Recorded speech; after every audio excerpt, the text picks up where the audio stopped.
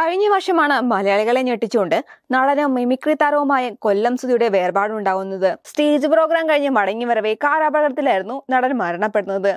സുധിയുടെ വേർപാടുണ്ടായിട്ട് ഒരു വർഷം പൂർത്തിയാവാൻ പോവുകയാണ്.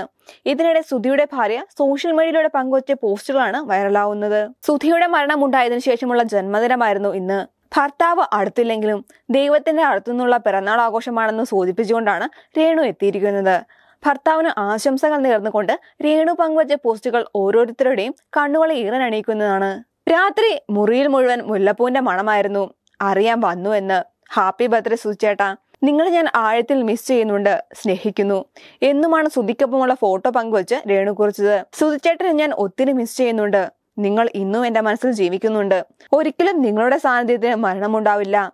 എന്നിങ്ങനെ നിരവധി പോസ്റ്റുകളാണ് സുധിയുടെ ഭാര്യ പങ്കുവച്ചിരിക്കുന്നത്. മലയാള ടെലിവിഷൻ സ്റ്റേജ് താരമായിരുന്നു കൊല്ലം സുധി. ഹാസ്യനടനായിട്ടും മിമിക്രി ആർട്ടിസ്റ്റുമൊക്കെ നിറഞ്ഞു നിന്ന താരം സ്റ്റാർ മാജിക് ഓൺ ഫ്ലവേഴ്സ് എന്ന കോമഡി ഷോയിലെ സ്ഥിരം സാന്നിധ്യമായിരുന്നു ഈ പരിപാടിയിലൂടെയാണ് സുധി അറിയപ്പെടുന്നത്. ഇതിനകം നാൽപ്പതിലധികം മലയാള സിനിമകളിൽ നടൻ അഭിനയിച്ചിരുന്നു.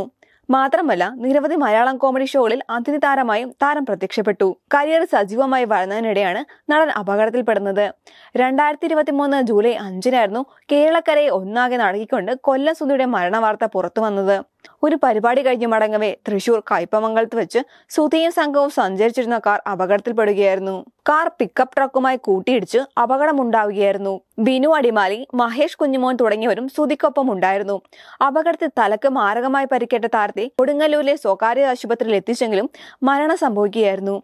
സുധിയുടെ മരണത്തിന് ശേഷം ഭാര്യയായ രേണു സോഷ്യൽ മീഡിയയിൽ വ്യാപകമായി വിമർശിക്കപ്പെട്ടിരുന്നു. സുധിയേട്ടൻ ഇഷ്ടമുള്ളതുപോലെ ജീവിക്കാമെന്ന് തീരുമാനിക്കുകയായിരുന്നു രേണു. ഇത് വലിയ വിമർശനമായി മാത്രമല്ല താൻ കേട്ട പഴികളെക്കുറിച്ചും അടുത്തിടെ രേണു പറഞ്ഞിരുന്നു. സുധിച്ചേട്ടൻ മരിച്ച് ഒരു വർഷം ആകുന്നതിന് മുമ്പ് ഞാൻ വരെ വിവാഹം കഴിക്കും. കിച്ചുവിനെ അടിച്ചിറക്കം തുടങ്ങി ഒത്തിരി നെഗറ്റീവുകൾ ഞാൻ കേട്ടതാണ്.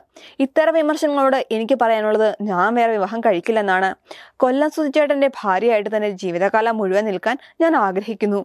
എന്നുമാണ് രേണു വിമർശനങ്ങൾക്ക് മറുപടിയായി പറഞ്ഞത്.